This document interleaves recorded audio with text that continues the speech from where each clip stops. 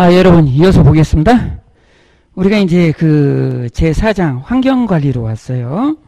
그래서 482페이지인데요. 어, 페이지가 어, 482페이지 환경관리예요. 이 환경관리는요, 좀 가벼워요. 우리가 출제가 굉장히 좀 적게 되고 있고, 그래서 우리가 이제 이 부분에서도 우리가 뒷부분은 또 그 출제가 되는 영역이 있으니까, 어, 이렇게 좀 갑니다. 환경관리는 우리가 보시면 자연환경관리, 그리고 생활환경, 그리고 조경, 이렇게 나와 있죠. 자연환경관리에서는 우리가 청소관리가 있고요.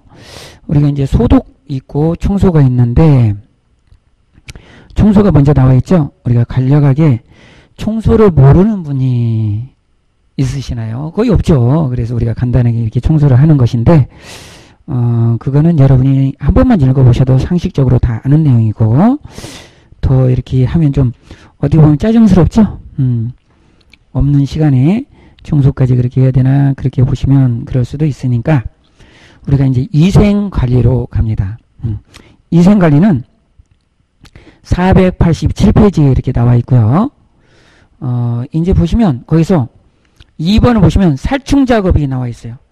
그 일반 사항인데 어, 일반 원칙에서 해충의 발생지를 발본 세곤한다 이렇게 나와 있어. 그럼 해충의 우리가 발생지를 발본 세곤한다 이렇게 얘기를 하고 있는데 그러면 서식지가 있고 또 발생지가 있고 발원지가 이렇게 있게 되잖아요. 그래서 그런 데 대해서 뭐 쥐나 바퀴벌레나 파리나 모기 등이 이렇게 문제가 되고 있죠. 그런 그 해충들을 우리가 이제 살충 그래서 벌레를 죽이는 거예요. 어, 우리가 살균 하면 균을 죽이는 거고 살충 하면 벌레를 죽이는 겁니다. 바퀴벌레 규제법이 있어요. 그럼 바퀴벌레는 어, 2번을 보시면 서식 장소에서 서식 경로에 이르는 전 구역을 동시에 구제한다. 이렇게 보시면 되겠고 파리의 구제법이 있습니다. 파리의 서식지, 번식지, 서식지는 번식지예요. 그러니까 예를 들어서 어, 파리가 이제 부부 생활하는 어, 정착을 해서 그런 데를 집중 투하해서 이제 그 죽여주고 어, 그 다음에 어, 발생지, 발생지는 이제 파리가 많이 모여드는 장소에 있죠. 뭐 어, 식당 주변이라든지 아니면 막 이런 거 그런데 좀 지저분한 지역에 파리가 모여들면 거기를 집중 투하해서 어, 살충을 하면 되겠습니다. 그래서 우리가 서식지하고 이렇게 그 발생지를 어, 구분해서 전부 다 동시에 이렇게 이제 그 살포를 해야 되겠죠? 그렇게 해서 죽여주면 되겠고 그 다음에 이제 4번을 보시면 감염병의 예방 및 관리에 관한 법률이 있습니다. 거기를 보시면 우리가 이제 소독이 나와요. 소독은 좀 볼만하죠. 소독에서는 증기 소독이 있고 끓는 소독이 있어요. 그러면 소독에서 음, 소독에서요. 우리가 증기 소독이 있어요. 그리고 끓는 소독이 있거든요.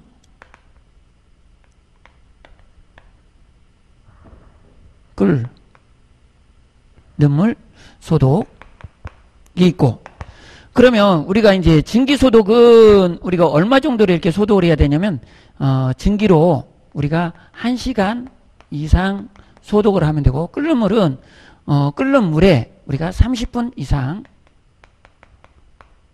소독을 하면 됩니다. 음. 이렇게 보시면 되겠네요. 일단은 우리가 보시면 일광 소독이 있고요. 햇볕으로 이렇게 소독하는 거죠. 어, 이 정도만 좀 보시고 가시면 될 것 같고요. 여기에서 중요한 것은 소독 횟수예요. 소독 횟수. 음. 소독 횟수인데 이 소독 횟수는 우리가 이제 어떻게 되냐면 우리가 이제 4월에서 9월까지 까지는 우리가 어떻게 소독을 해야 되냐면 어 우리가 이제 여기에서 3개월마다 1회예요. 그러니까 어 여기서는 총은 두 번이죠. 그러니까 여기서 어 1회인데 1회는 우리가 3개월에 어 일회 소독을 실시한다. 그리고 우리가 이제 10월에서 3월까지 그러니까 이거는 겨울철이잖아요. 그러니까 병균이 좀 없어요. 병, 이, 그, 병충해도 좀 없고, 그, 그래서 살충도 그렇게 할 필요가 없고, 그래서 이때에는 1회를 하는데, 어, 이때는 6개월에, 어, 1회 소독을 실시한다. 이렇게 보시면 되겠네요. 그래서, 어, 이렇게, 어, 4개월에서, 4월에서 9월까지는 1회 어, 3개월마다 소독을 하고, 여기는 6개월마다 한다. 그러니까 여기는 6개월에 한 번 하는 거지만, 여기는 3개월마다 하니까, 4월에서 9월까지 6개월 사이에 두 번 소독을 하는 것이 되겠죠. 어, 그렇게 보시고요. 그 다음에 이제 생활환경 관리가 있어요. 어, 대기오염 관리가 있고, 어, 이것도 그 예전에는 좀 출제가 됐었는데 요즘 들어서 출제가 뜸한 곳이고요. 어, 넘어가서 494페이지로 갑니다. 494페이지 가면 실내 공기질 관리법이 있어요. 여기는 또 중에서 시험 문제가 좀 나오고 있어요. 그래서 494페이지요. 음.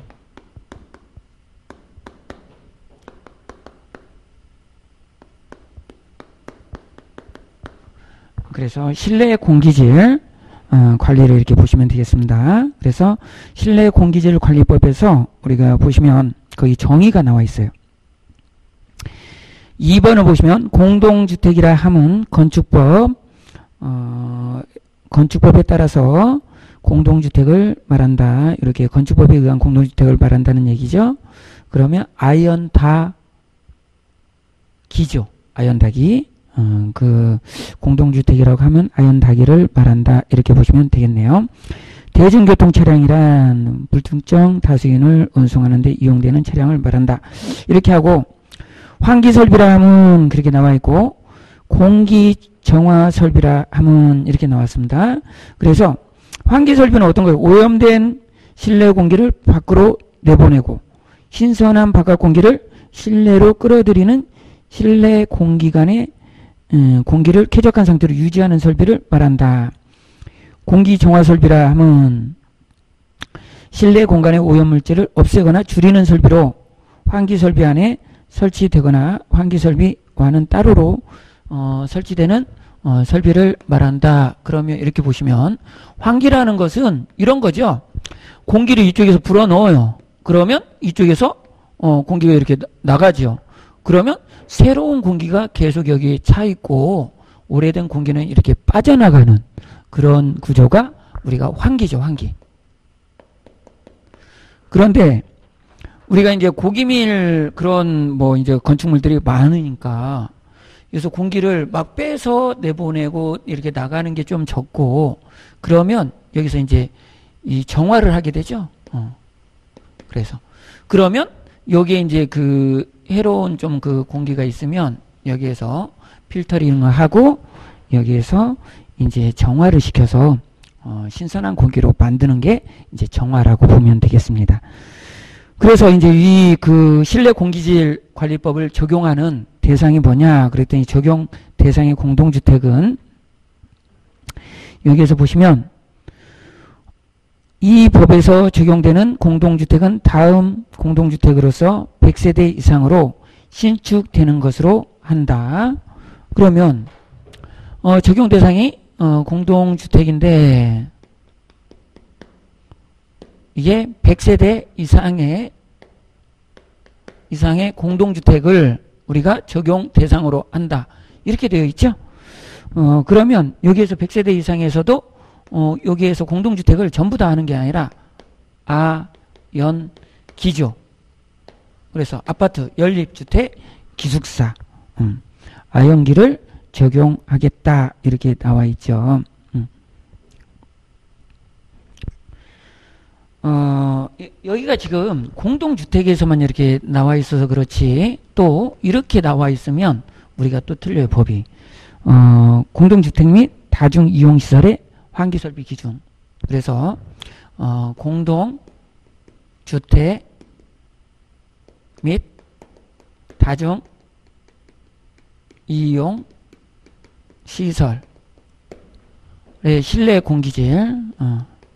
실내 공기 어, 질에 이렇게 어 아니 환기 설비 기준을 봐야 되겠네요. 여기 어, 공동주택의 어, 다중이용 시설의 어, 환기 설비 기준을 보면 기준을 보면 이게 틀려요. 그럼 어떻게 하냐 거기는 어, 아 연 다 기, 주예요. 아연 다 주. 음, 기도 아니고 아연 다 주. 그러니까 아파트, 연립주택, 다중 음, 이용시설, 아니 다세대, 다세대로 보면 되고 다세대. 그 다음에 여기는 주가 뭐냐면 다세대 주택의 주가 우리가 주택의 건축물과 주택을 동일 건축물로 건축하는 건축물. 말이 어렵죠. 어, 이게 바로 주상복합이요.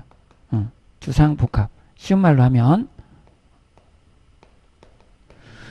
이게 건축물과 음, 건, 요게 이렇게 되니까 이거하고 이렇게 법이 어떤 걸로 물어보느냐 이거를 여러분이 좀 잘 보셔야 돼요. 그러면 여기는 음, 100세대 이상이면서 이것도 이상 여기는 신축 또는 리모델링 리모델링 시에 지을 때는 이거를 환기 횟수를 환기 횟수 횟수를 0.5회 이상으로 이상으로 어, 해야 한다. 응? 이렇게 보시면 되겠네요. 그러니까 이제 우리가 구분을 해서 공동주택과 공동주택 및 다중이용시설 환기 설비 기준을 보시면 약간 좀 틀리다. 이렇게 보시면 되겠고. 그 다음에 이제 우리가 거기에서 실내 공동주택의 실내 공기질 관리가 있어요. 그런데 거기에서도 보시면 6번, 양가로 6번에 신축 공동주택의 공기질 측정이 있어요. 거기서 2번을 보시면 신축 공동주택의 실내 공기질 측정 항목과 권고 기준은 다음과 같다. 이렇게 나와 있는데 거기에서 권고 기준이 있어요. 권고 기준. 실내 공기질 어, 예. 권고 기준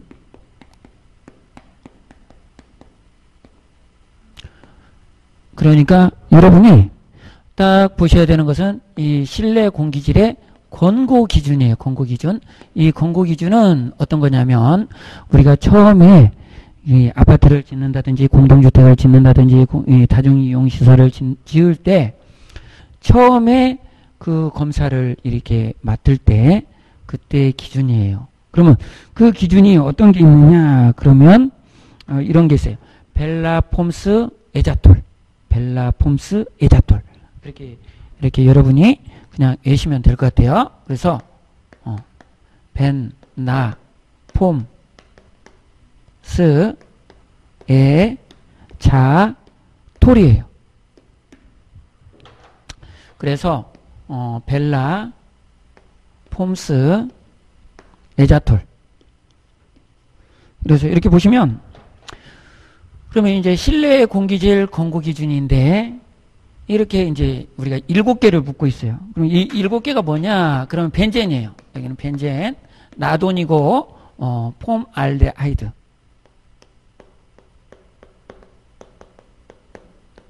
스틸렌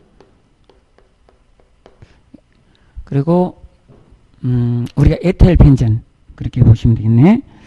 우리가 에틸 벤젠 그리고 벤젠 자일렌, 어, 톨루엔 이렇게 있는데 여기서 우리가 이제 숫자까지 이렇게 여러분이 기억을 하셔야 돼요.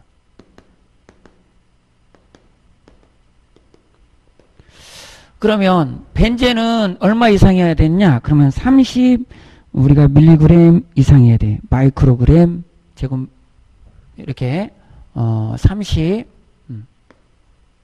그램 퍼 메타의 삼성 이 안에 어, 30 이렇게 들어가면 되고 어, 그 다음에 나도는 148 어, 100 음, 베크렐. 그래서 이렇게 되죠? 어, 베크렐.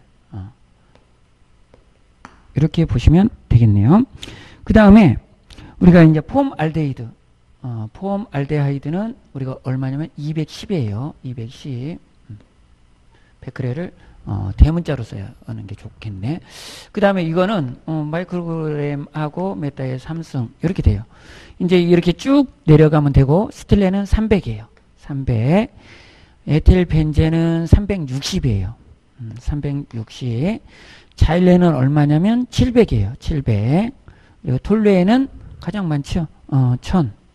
그래서 제가 여러분이 암기하기 쉽게 어, 작은 거에서 큰 순서대로 이렇게 정리를 했어요. 그래서 벨라 폼스 에자톨 이렇게 암기를 해서 실내 공기질 권고 기준을 이렇게 보셔야 되고 여러분이 단위까지도 같이 보시면 어, 좋겠어요. 그래서 벤제는 30, 나도는 148, 폼 알데하이드는 210, 스틸레는 300, 에틸 벤제는 360, 자일레는 700, 톨레에는 1000 이렇게 해서 여러분이 기억을 하시면 될 것 같습니다. 우리는 거기 책에는 지금 이제 폼알데하이드, 벤젠, 뭐 톨루엔, 에틸벤젠, 자일렌, 스텔렌, 라돈 이렇게 나와 있는데 그냥 말만 나와 있는데 이 숫자까지 암기를 하셔야 돼요. 음. 그리고 넘어가서 보시면요. 어, 3번에 다중이용시설에 공동주택의 소유권자 등에 권고하는 실내 나돈 농도의 기준은 하고 이렇게 나와 있어요. 그래서 다중시설의 소유자 등은 별표 3에 따른 나돈의 권고 기준. 나돈은 얼마라고 그랬어요? 나돈. 148. 그래서 나돈이 최근에 개정이 돼서 이렇게 들어갔어요. 그래서 나돈도 이렇게 잘 보셔야 됩니다. 148 백화. 그래서 어, 메타의 삼승 이렇게 보시면 되, 되겠어요. 148 베크렐 이하가 이렇게 돼야 된다. 이렇게 보시면 되겠네요. 신축되는 공동주택의 시공자는 시공이 완료된 공동주택의 실내 공기질을 측정하여 그 측정 결과를 어, 시장 등에요. 어, 시장 등에게 제출하고 입주 개시 전에 입주민들이 잘 볼 수 있는 장소에 공고해야 된다.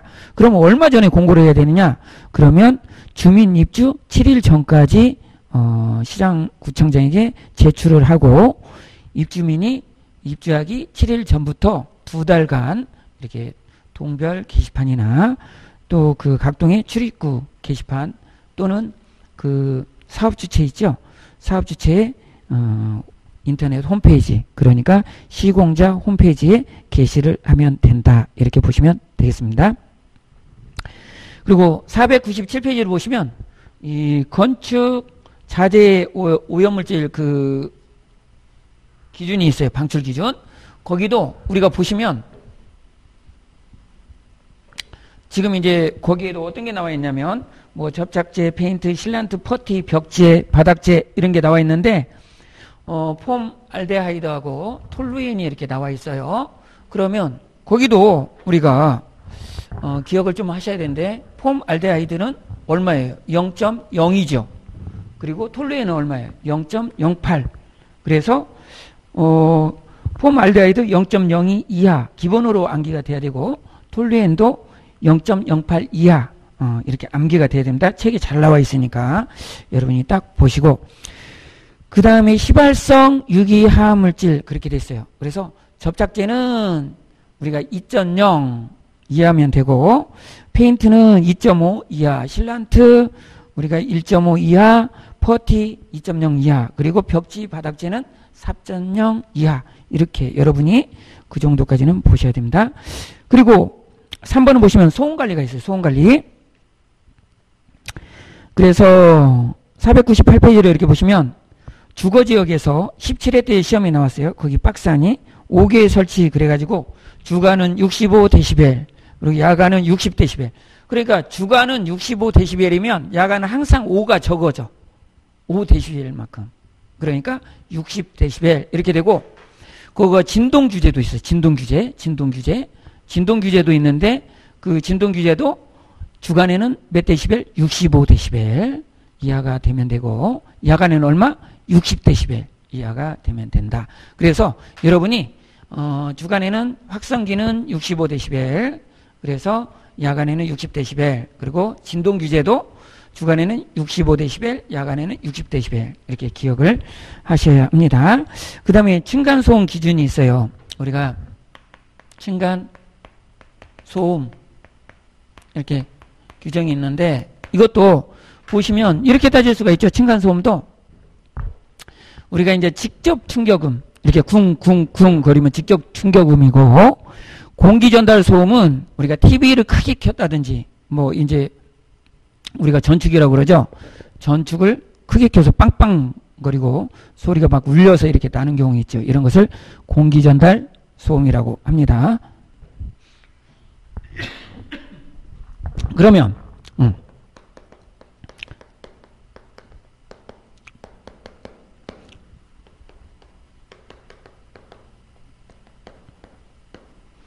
이렇게 소음을 보시면요. 공기 전달 소음이 있고 직접 전달 소음이 있어요.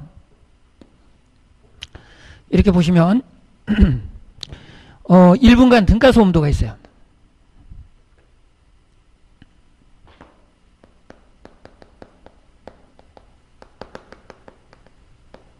어, 이게 최고 소음도가 있고요. 이 5분간 등가 소음도가 있어요.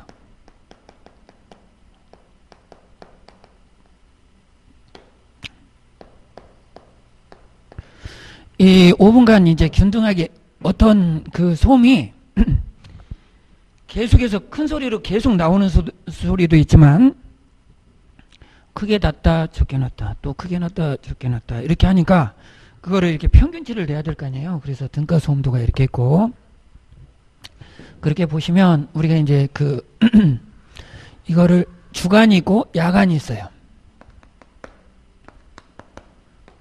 이렇게 보실 수가 있는데 그러면 일부간 특가 소음도는 얼마이냐? 그러면 최고 소음도는 우리가 얼마이냐? 이렇게 하면 여기가 57이에요. 57 dB. 이하가 나와야 되고 등가 소음도는 43이에요. 43 dB. 그리고 5분간 등가 소음도는 45 dB예요.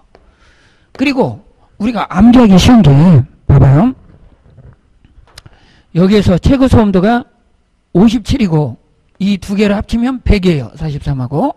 이 45는 별도로 5분간 5가 있으니까 45가 가는 거고 그 다음에 야간을 보시면 야간은 5식이 다 줄어요. 5식. 마이너스 5를 해주면 돼요. 그러면 여기는 얼마예요? 37. 여기는 얼마예요? 52. 여기는 얼마예요? 40. dB 이하가 되면 돼요.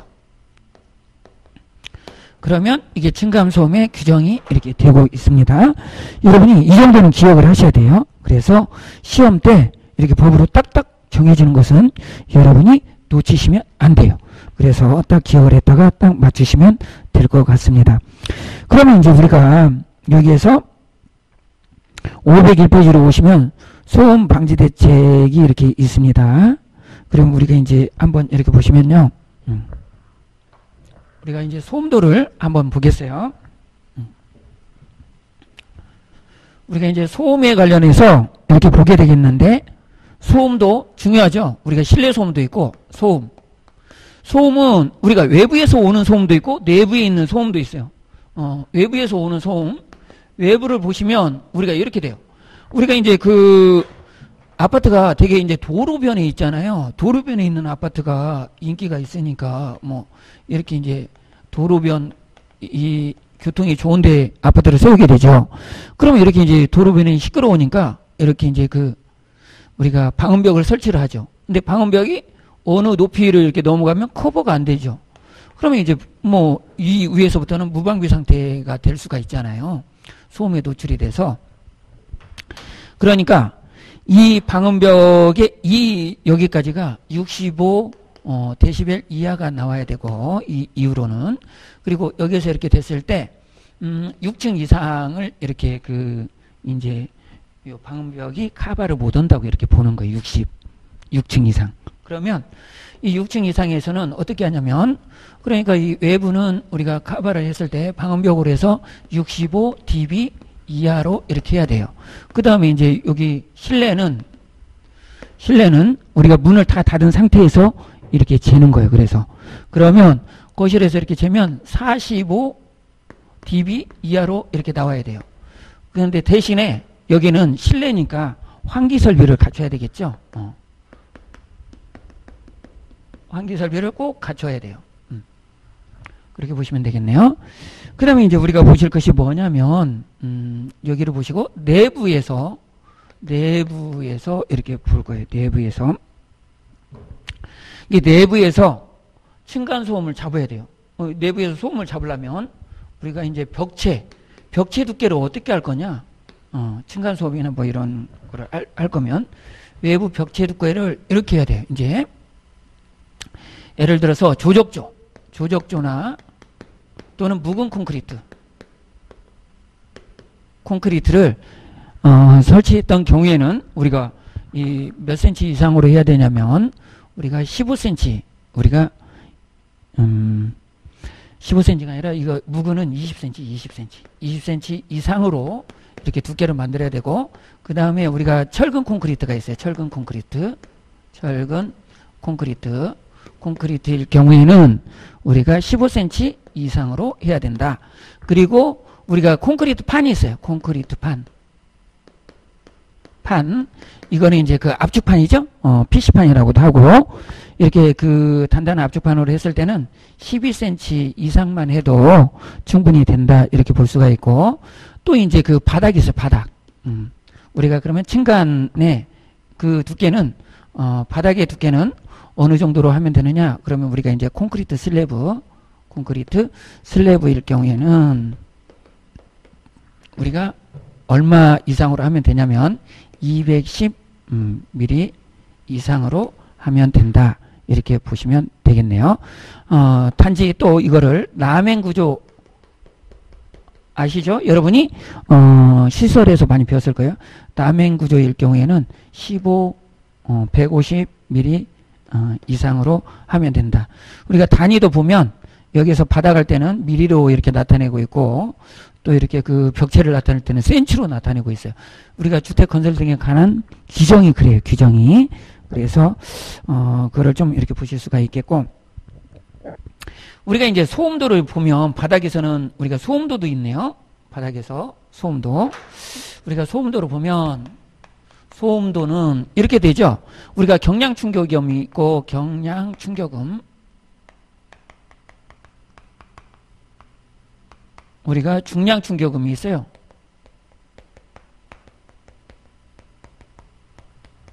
이 있는데 경량 충격음은 뭐 이렇게 날카로운 그 소리죠. 그러니까 우리가 테스트를 할 때는 타구공을 일정한 높이에서 이렇게 떨어뜨려 봐요. 그러면 똑똑똑똑 이렇게 어, 탁탁탁탁 소리가 나죠.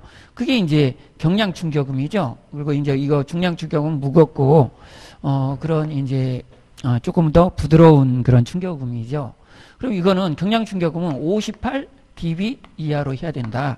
이 중량 충격음은 50 dB 이하로 해야 된다. 이렇게 해서 어, 층감소 온도가 이렇게 해서 층감소 온도를 우리가 막을 수 있어야 된다. 이렇게 보시면 되겠습니다. 그래서 여러분이 지금까지 이제 소형 관련까지 해서 여러분이 다 보셨고요.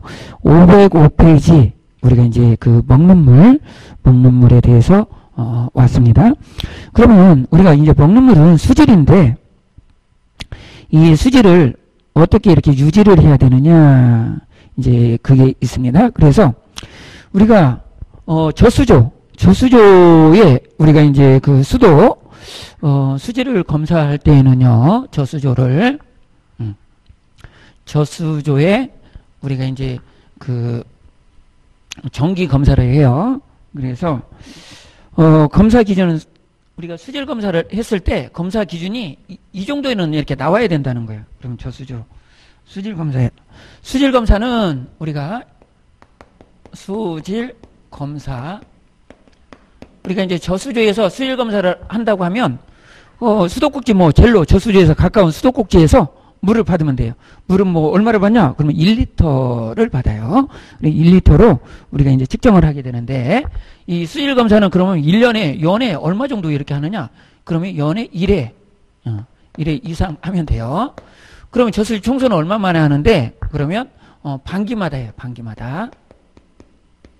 그러니까 6개월에 한 번씩 하겠죠. 청소는 연 1회 이상 이렇게 하고요.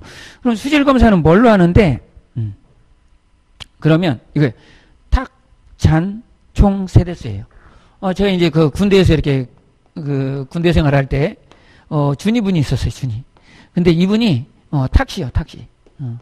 그래서 이분이 전화를 받을 때 어, 웃기느라고 딱 전화를 딱 받으면 탁 때리면서 탁주입니다. 탁주입니다. 이렇게 이렇게 전화를 받았어요. 그래서 그 생각이 좀 많이 나요. 그래서 우리가 제가 이제 안긴 말을 탁잔 총 세대수라고 이렇게 예, 만들었어요. 그래서 탁 탁도고 잔 총 세대수 그래서 우리가 이제 탁도로 이렇게 보실 수가 있고 잔류염소예요. 잔류염소. 그리고 총대장균이에요.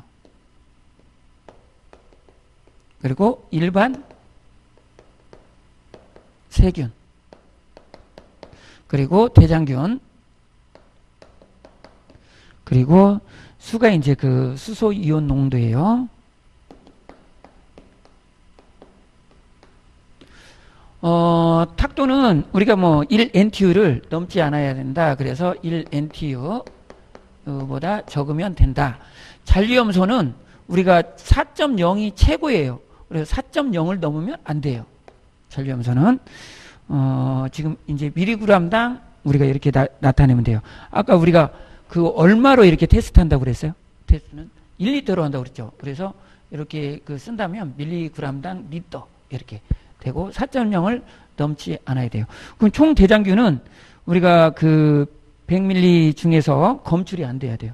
총 대장균은 100mg 중에서 중 검출이 안 돼야 돼요. 검출이 안 돼야 되고 일반 세균은 우리가 이제 조금 더 이렇게 약한데 어 100CFU를 어 넘지 않아야 돼요. 그리고 대장균은 대장균은 우리가 이제 그 이것도 100mg 중에서 어, 검출이 안 되면 돼요.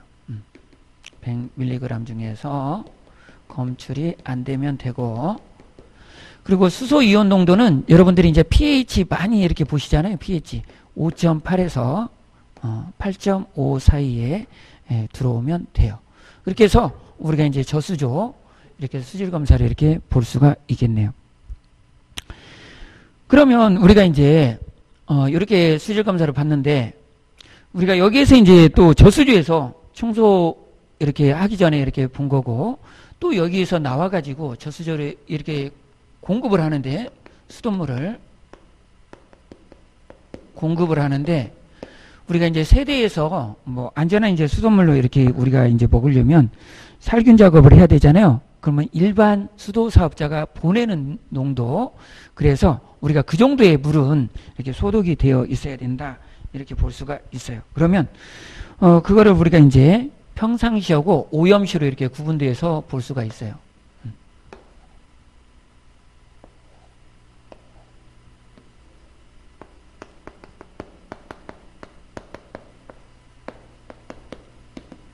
그리고 여기는 음, 이게 유리잘 염소예요. 유리 그러니까 어, 유리 염소고 여기는 결합 결합된 염소예요. 유리가 어, 이별 그랬을 때 그 분리가 됐다라는 거예요. 분리 분리된 거.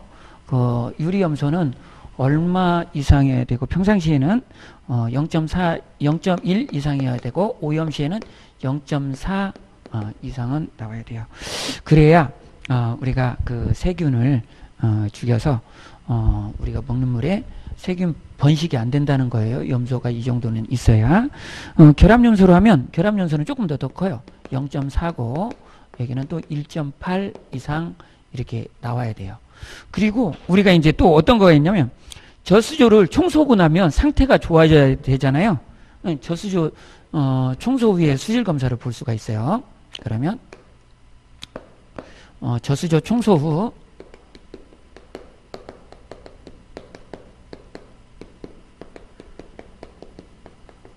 검사인데 이거는 어, 어떻게 보면 탁 잔수예요. 그래서 탁도 잔류염소 수소 이온 농도 이렇게 보시면 되겠네요. 그래서 이제 저수조를 청소했으니까 그 상태가 또 좋아야 되죠. 어, 청소를 했다는 것은 그 상태가 좋아져야 된다는 거예요. 그래서 우리가 이제 보시면 어, 탁도는 어, 아까보다는 좀 적, 적어요. 그래서 청소를 했으니까 더 맑아야 되겠죠. 그래서 0.5 NTU 음, 이하가 이렇게 나오면 되고 그 다음에 이제 잔류염소는 어디에 속하면 되냐면 어, 잔류염소는 가장 적은 게 얼마예요? 우리 가장 적은 게 잔류염소는 0.1이었어요. 그래서 0.1부터 우리가 가장 많은 게 얼마예요? 4예요. 그래서 4.0까지 이렇게 들어오면 돼요.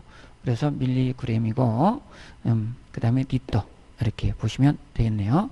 그 다음에 이제 어, 수소 이온 농도는 항상 이렇게 pH 어, 우리가 5.8에서 어, 8.5까지 이렇게 들어오면 된다. 그래서 저수지 청소 후에는 수질 검사 우리가 그 농도를 보면 어, 이렇게 차지하게 된다. 그래서 여러분이 어, 이 정도 이렇게 보시고요. 어, 거기 박스 안에 보시면요. 1번의 가번을 보시면 1번 세균은 1밀리리터 중에 어, 100 CFU를 넘지 아니할 것 이렇게 나와 있고요. 나번을 보시면 총 대장균은 100ml 중에서 검출되지 아니할 것 이렇게 나와 있어요. 다번도 그렇고요. 어, 대장균요. 그 다음에 이렇게 보시면 또 어디를 좀 보시면 되냐면 507페이지에 4번의 가번 4번의 가번 잔류염소 유리 잔류염소는 어, 4.0을 넘지 아니할 것 이렇게 돼 있죠. 그래서 아까 가장 많았을 때 우리가 유리 잔류염소는 4.0을 넘지 않아야 돼요. 그 다음에 넘어가서 보시면 어, 508페이지인데 5번에 4번을 보시면 수소 이온 농도는 pH 5.8 이상에서 8.5 이하여야 할 것. 그 다음에 파번을 보시면 파 탁도는 1NTU, 1NTU를 넘지 아니할 것 이렇게 되어 있습니다. 어, 수돗물의 경우에는 0.5NTU를 넘지 아니할 것 이렇게 되어 있어요. 거기까지 보시고요. 여러분이 이제 어, 환경 관리를 마치고요. 우리가 이제 조경 관리, 조경 관리는 우리가 간단하죠. 그래서 조경 관리는 거의 뭐 볼 게 없습니다. 음. 그리고 어, 조경 관리를 본다면 뭐 이런 거 간단하게 우리가 잠복소가 우리가 어, 월동 대책이냐 아니냐. 그러면 잠복소는 월동 대책이 아니다. 이렇게 하시면 돼요. 그럼 나무가 있어요. 나무가 있으면 봉분이 있죠. 예, 이제 뿌리가 있죠. 뿌리. 예. 예, 봉이 있고 이, 이, 이제 뿌리가 있죠. 뿌리가 이렇게 뿌리 뿌리가 있고 그 다음에 여기서 1.2m 정도 위에나 이 정도 1.5m 정도 위에 우리가 뭐를 설치하냐면 여기에 이제 잠복소 어, 잠복소를 이렇게 설치합니다. 어, 이게 잠복소는 이제 그 해충이 겨울철에 겨울을 나기 위해서 땅으로 이렇게 내려와요. 어, 내려오다 보니까 어, 뭐 따뜻한 게 뭐 있어요. 어? 그럼 이게 땅 아니야? 내가 여기에서 지내면 되겠네? 그리고 여기서 둥지를 들어요. 그래서 겨울을 여기서 지내고 있는데, 이제 그 봄이 오면, 봄이 오기 전에 이 잠복스를 다 걷어서 불태워요. 그러면 벌레들이 이렇게 다 죽게 됩니다. 어, 그러면 이제 나무에서 해충이 좀 없어지는 거고, 여기를 우리가 뭐라고 그러냐면, 나무에서 여기를 볼수 있는 거, 그래서 수관이라고 해요. 우리가 이쪽을 보면서 우리가 이제 나무를 관상을 하죠. 그래서 나무를 우리가 전정을 할 때는 우리가 이 나뭇잎을 따주는 어, 것도 있고 그것도 전정이죠. 어, 저겹. 그리고 우리가 이제 나무 가지를 우리가 이렇게 전정을 할 때는 속에서부터 해줘요. 죽은 나뭇가지를 제일 먼저 전정을 합니다. 그래서 속에서 겉으로 이렇게 나오면서 우리가 전정을 하게 되죠. 그리고 여기에서 여기까지를 우리가 수간 포곡이라고 해요. 수간. 어, 수간 폭. 그런데 우리가 시험 문제 내기가 아주 뭐 어려워요. 뭐 그냥 이 정도 잠복수 정도가 우리가 출제가 되고 이쪽에서는 그래 출제가 좀 안 보이고 있습니다. 그래서 여러분이 어 이 정도 이렇게 보시면 될 것 같고 지금 뭐 이런 병충해 같은 거 우리가 암기하려면 어려운데 어 출제된 바가 없고 출제되기도 쉽지 않습니다. 그래서 여러분이 어 이 정도로 해서 환경 관리를 마치고 안전 관리로 넘어가겠습니다. 여러분 수고하셨습니다.